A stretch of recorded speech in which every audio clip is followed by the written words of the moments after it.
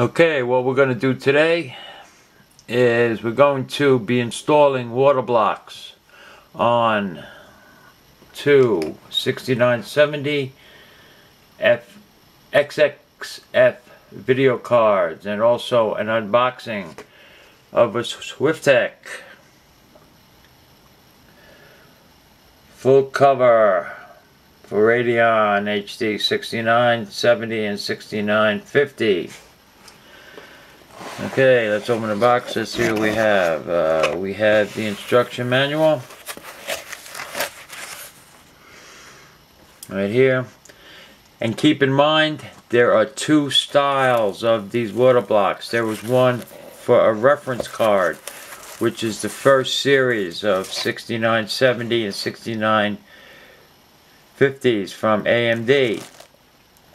Uh, so bear in mind when you're ordering these water blocks uh, make sure you get the right one. This is for the reference. I actually have two one reference and one non-reference cards. Uh, as as you can see here they're really nice they're really heavy. Uh, they also come with the uh, RAM block, which I thought it didn't come with, so I bought them separately. So it looks like I have to return them. I am speaking of these right here. Uh, very nice and very heavy. They probably weigh about four pounds a piece.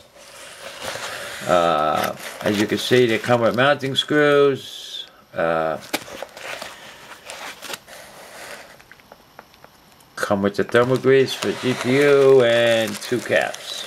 I'll be running Crossfire. Uh, I just received all my hardware from Performance PC. That's where I received uh, all my parts. Uh, I disassembled the cards yesterday uh, in anticipation of my delivery. And here they are. This is the non reference card. And this is the reference card. As you could see the reference design has a has a BIOS switch on it. Right there as you can see. Focus isn't too good. Okay so uh, and the non-reference card as you can see has no BIOS switch so, just let me get things all together here, and I will start with the installation of the first card.